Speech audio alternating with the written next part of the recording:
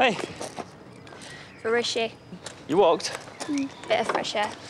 Don't let him boss you around. I'm not. I like him. He's funny. Yeah, trust me, it wears off.